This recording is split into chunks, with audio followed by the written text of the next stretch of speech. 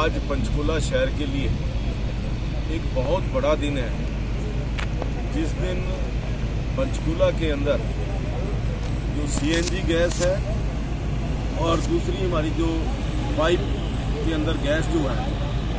जो हमारी एलपीजी थी, वो गैस अब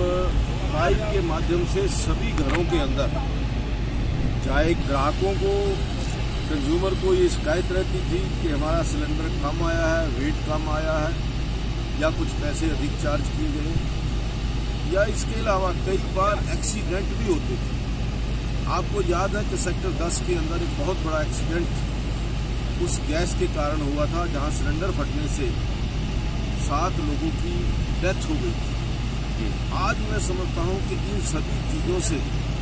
हमारे पंचकूला वासियों को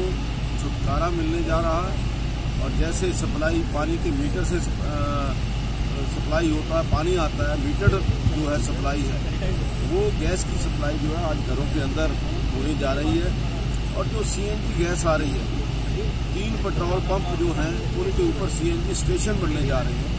उन स्टेशन के ऊपर जो हमारे सीएनजी व्हीकल्स हैं, वो व्हीकल सीएनजी की सप्लाई ले सकेंगे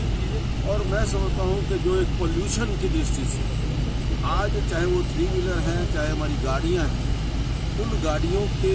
सीएनजी होने से पोल्यूशन के अंदर बहुत बड़ी राहत मिलने वाली है।